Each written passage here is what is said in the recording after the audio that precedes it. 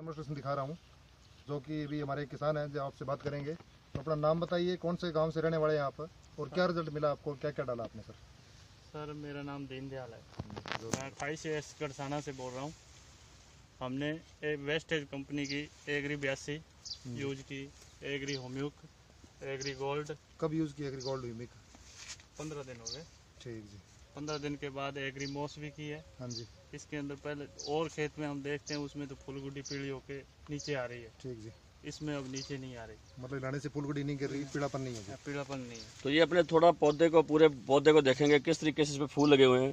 थोड़ा सा आप इसको टेढ़ा कीजिए थोड़ा सा टेढ़ा कर लीजिए। तो ये मैं यहाँ पर आप देख रहे हो भी इसके ऊपर जितने भी फूल बने हुए हैं फू, फूल सारे जो है रुके हुए हैं और ज़्यादातर फूल जो है फल में कन्वर्ट हो रहे हैं। ये एक पौधे के ऊपर हम देखेंगे गिनती करेंगे तो लगभग लगभग डेढ़ सौ से ज़्यादा फूल लगे हुए हैं और लगभग लगभग सभी जो है फूल अच्छी तरह से रुके हुए हैं। तो आप इसके रिज़ल्ट से खुश हो? हम खुश हैं।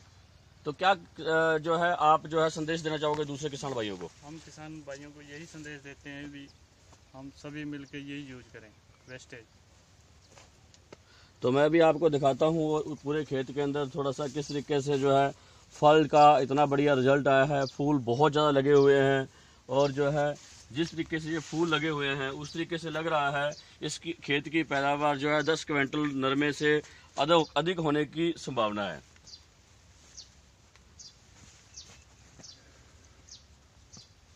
ठीक है जी थैंक यू सर धन्यवाद धन्यवाद।